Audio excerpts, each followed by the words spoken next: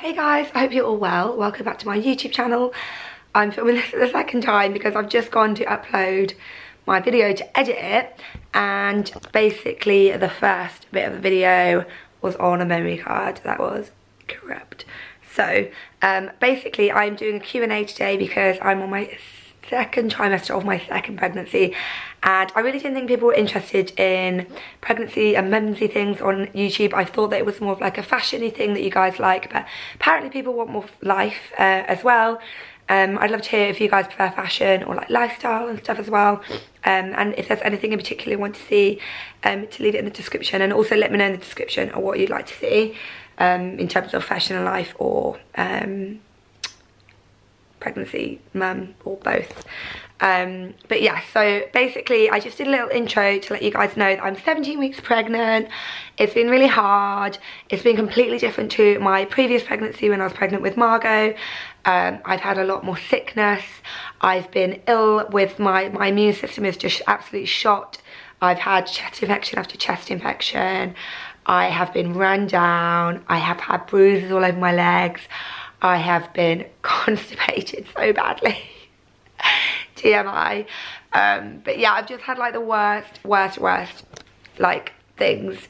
Well, obviously not the worst, there's people who have HG and like so many other things. But yeah, I've been really concerned about the bruising and just like generally feeling rubbish, but had no idea what's wrong. And the doctor the other day gave me literally about 100 blood tests and found out that I'm iron deficient and that can actually cause the bruising in your legs so really grateful that it's just that and not anything like blood clots which I was really scared about um, but yeah I've missed out some of the first questions because it went to the because it got deleted but I can't remember what the questions were so I'm just gonna have a look at some of the very first ones and reply to those so that I don't miss them out because I think I answered like the most basic general questions first um, so the age gap will be 18 months I'm 17 weeks pregnant. Um, Margot is a year old now. How do you know you're ready for baby number two? We didn't. we probably weren't ready.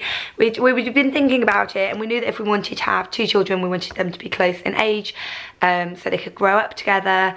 Um, and yeah, we just, I was nine months pregnant and we had a discussion and we were just like, well, I mean, even though it feels early, in nine months time Margot's gonna be 18 months and that's kind of the age gap we want um, and I felt like ready to be pregnant again because obviously my body had recovered um, and we were just like should we start trying? May as well.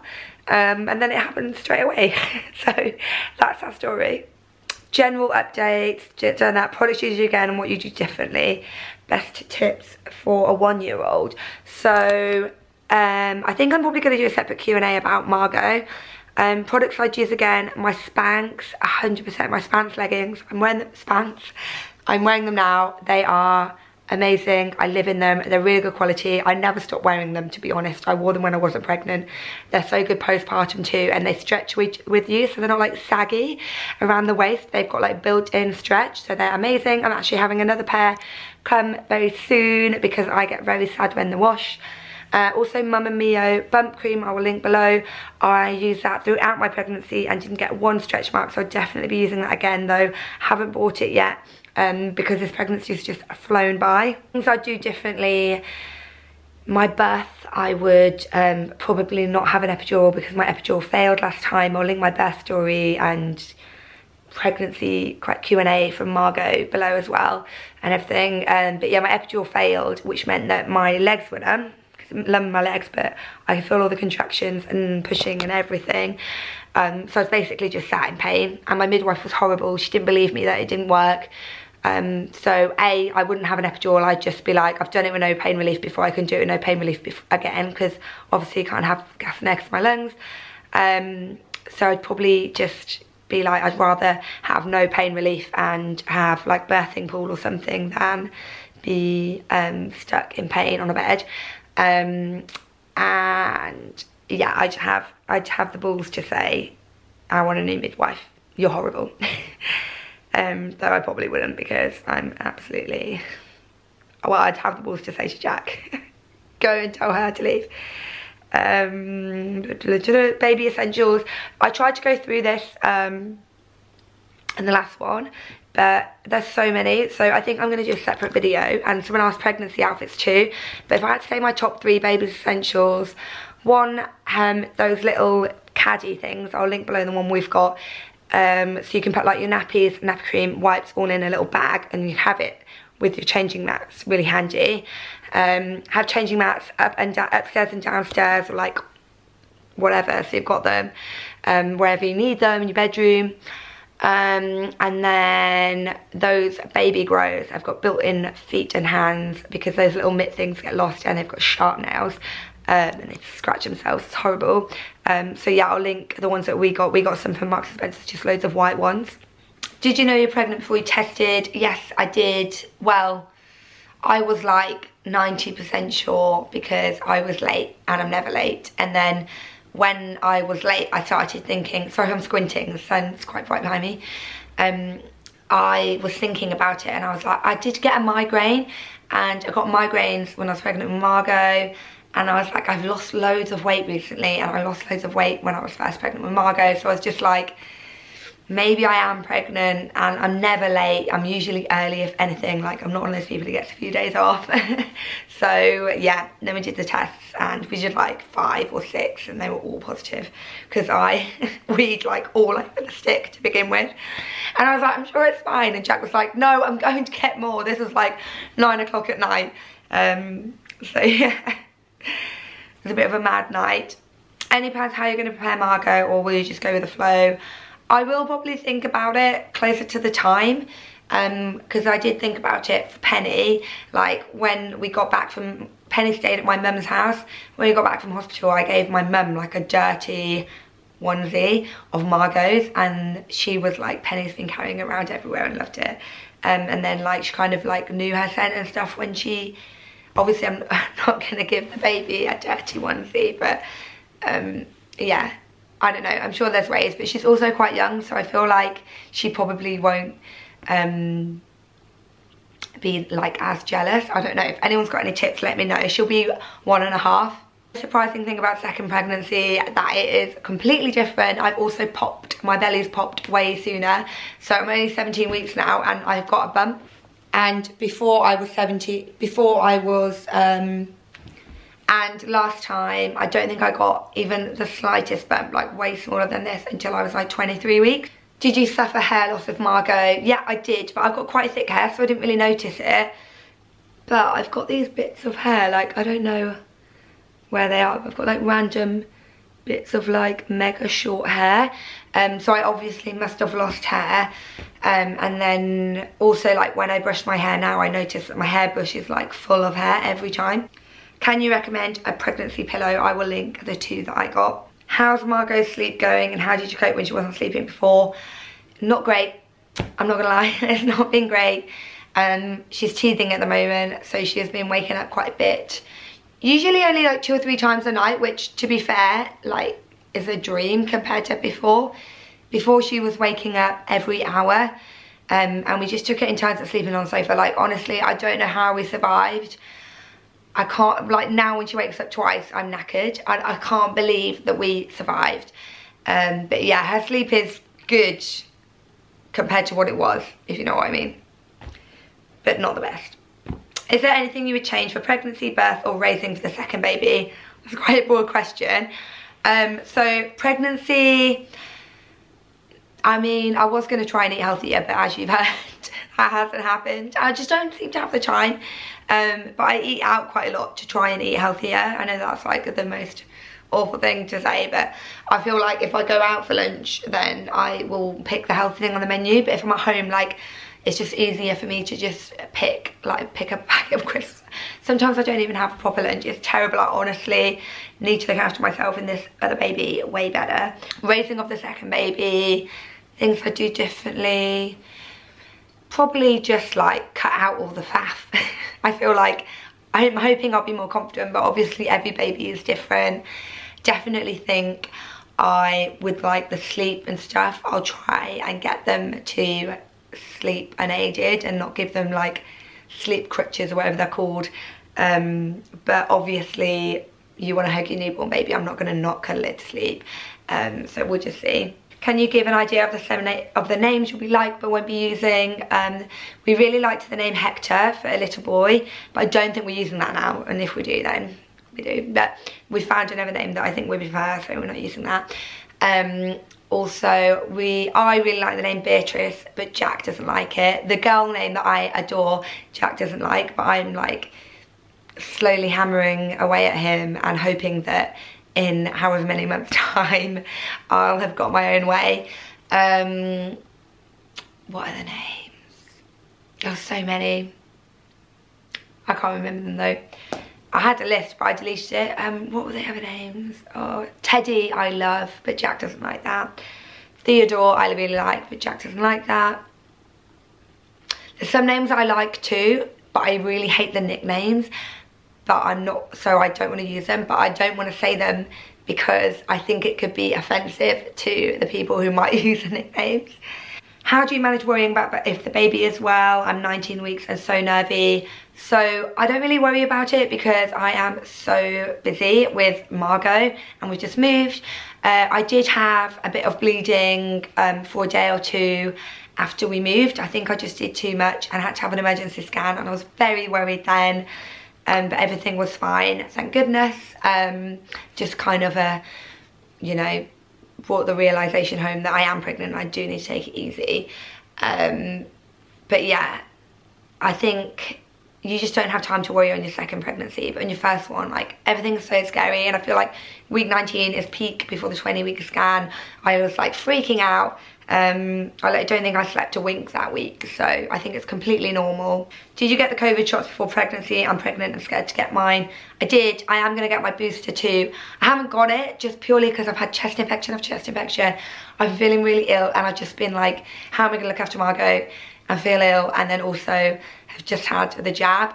Um, but I'm 100% going to get it, especially with all the rules relaxing. Like, I'm really worried, especially pregnant women, we are more vulnerable. And then also with someone who has also got a lung condition makes me more vulnerable. So I'm quite concerned about all the rules relaxing, to be honest. And I need to get my shot, shot, jab, vaccine ASAP. Um, but I can't get it until I need to get my flu vaccine too and then I can't get that till two weeks after so probably going to try and get it at the end of the month. Top tips for sickness. Honestly, it's the worst. I lived off Coke. Coke helped me so much. Dry cereal, ginger biscuits. Just do what you can. It's horrible. It's horrible, horrible, horrible. I am still being sick, but I don't feel sick anymore, so I kind of just deal with it. Um, but yeah, it's horrible. I was never sick with Margot either, so I just assumed I wouldn't be with this one. It's like crazy how different each pregnancy is, so I can completely understand when they say how different each child is too. Congratulations on baby number two. Are you taking supplements? Yes, I am. I take Pregnacare Max, and I did with Margot, and she turned out pretty fine, so I'm just using the same ones. And then I'm on iron supplements too, which I said at the beginning. I was taking vitamin D and echinacea too, um, but I spoke to my doctor and she was like, don't think you need those and like just don't take them basically. So I stopped. How are you feeling about having two babies close together? I'm pregnant with two with the with the second with a similar age gap. Um, I'm feeling really excited. I can't wait to see them together. I don't think it's going to be easy by any stretch of the imagination, but I've got an amazing support network around me and I also just can't wait to see Margot's big sister. I think they're going to be adorable together and I just, me and my sister 18 months apart and we are so close so I really hope that they'll have a lovely close relationship too um, and I think anything worth having doesn't come easy and I think that, yeah, um, it's not, I'm not by any way thinking it's going to be easy. I know it's not. People constantly tell me how hard it's going to be, which by the way, I think is quite rude. Like people always message me on Instagram, like people who I know were like not necessarily that well. Like most people when I told them I was pregnant were like, oh God, that's gonna be hard. Or, oh wow, you're brave. Um, no congratulations. So yeah, people have, are very opinionated on it, but I am doing it because I think that that's what's best for me and my family. How is managing pregnancy when you already have another child, I don't know how I'd cope. I honestly, when I was pregnant with Margot, was like, how do people do this? But as I said, I feel worse this time and it's been fine. I just have to get on with it. Um, as I said, I'm very lucky that I have a very good support network close around me. Jack's mum has Margot on a Friday, which is what it is today, so I can do some work.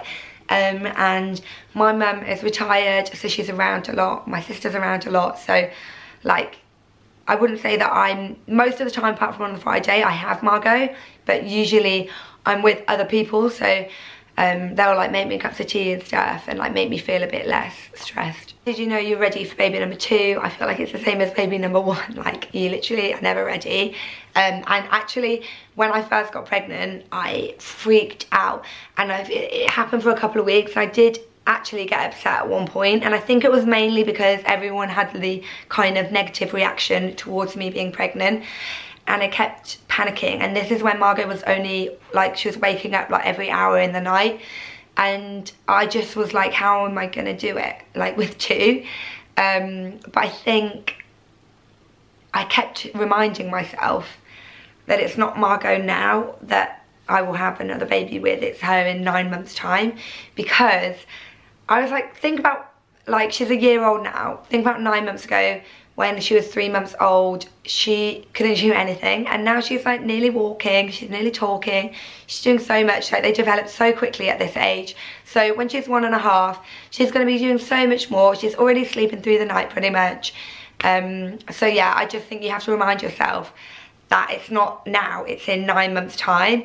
Um, so you have to think about the age gap and stuff like that. But yeah, we were just like, we wanted them close together.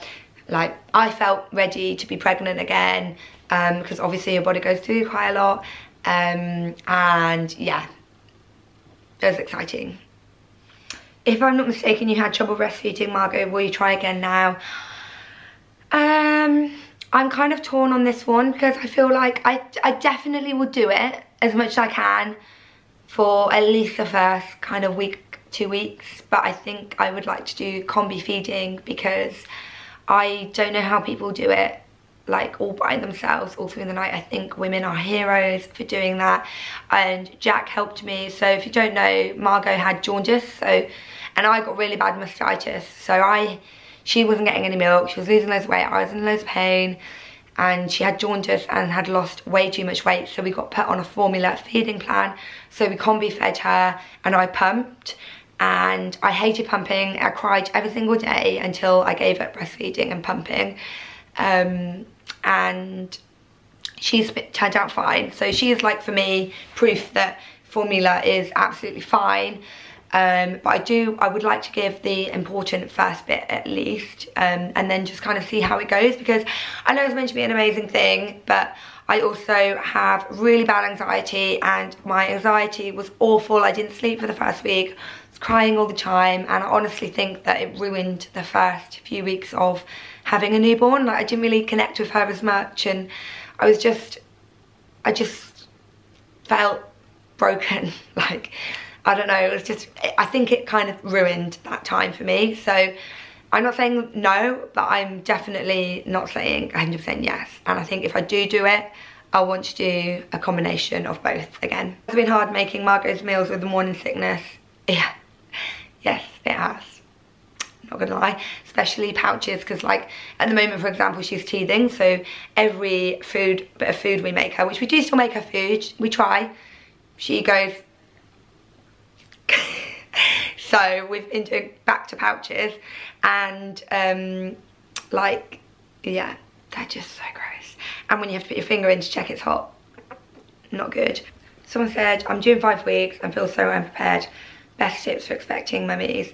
My best tip would be, don't worry, there's always 24 hour Tesco's, there's always Amazon Prime and next day delivery if you need anything or haven't got anything, you won't go without. Also, when I packed my hospital bag, I packed for like a week's visit and you have to remember as well, I mean, obviously every hospital is different, but Jack couldn't stay overnight if I was gonna stay overnight. So I was like, I'm just gonna pack for like a 24 hour period because then if I need anything, when he goes home, he can bring it back. So you just try and remember things like that. Um, and yeah, you'll be fine. Also in the hospital, they are so helpful. Like I literally didn't do any NCT, I didn't read anything. I didn't even watch a YouTube video on how to put a nappy on. I was so unprepared. I was just like, everything's gonna be fine. So when I had this newborn baby, I was literally like clueless. She's just had an operation by the way, that's why she's wearing like a little baby onesie. Um, and I had to ring the bell and be like, can you show me how to put a nappy on? Can you show me how to dress my baby? Um, and they are so fine like it's normal it's fine don't worry about it everyone's really helpful and really lovely so i think i'm going to leave it there because that is a really long video um if you guys have any more questions please feel free to leave them in the description box below I do have more questions about like Margot in general and stuff. Um, so I don't know if to do like a general, maybe I should do like a one year baby Q&A too. If you'd be interested in that, let me know. And if you have any questions, also let me know. Um, and yeah, I hope that you guys enjoyed this video and I will see you next time. Bye.